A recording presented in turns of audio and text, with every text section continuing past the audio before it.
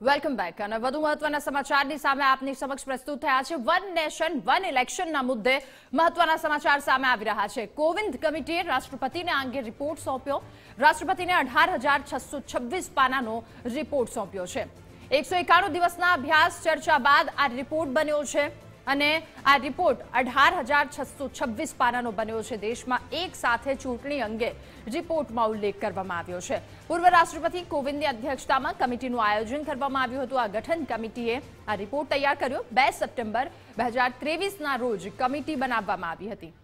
અને વધુ માહિતી મેળવીશું સંવાદદાતા દેવનાથ પાંડે પાસેથી Devnath one nation one election को लेकर क्या अपडेट देखिए Radha one nation one election को लेकर अब से आ, करीब हम देखें चार से पाँच महीना पहले तो जिस तरह से एक आवाज़ उठाई गई थी कि आ, एक देश में एक चुनाव होना चाहिए। आ, लेकिन सबसे बड़ी बात ये है कि आ, उस वक्त भी विरोध देखने को मिला था खासतौर से विपक्ष की तरफ़ से और ये विरोध आज भी देखने को मिल रहा है कि देश में एक साथ एक आ, चाहे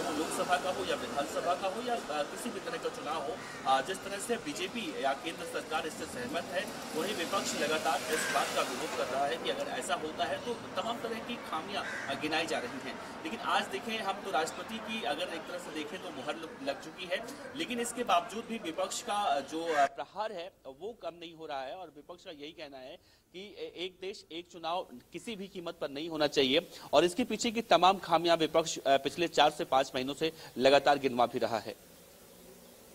जी देवनाथ धन्यवाद अपडेट के लिए।